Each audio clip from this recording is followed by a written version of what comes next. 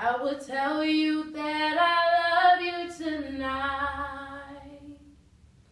But I know that I've got time on my side. Where you going? Why you leaving so soon? Is there somewhere else that's better for you?